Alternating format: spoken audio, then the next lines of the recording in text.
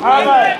شعبنا لن يقبل سيزلزل عرش المحكم يا لتبيع القضية جمهورية جمهورية يا لتبيع القضية جمهورية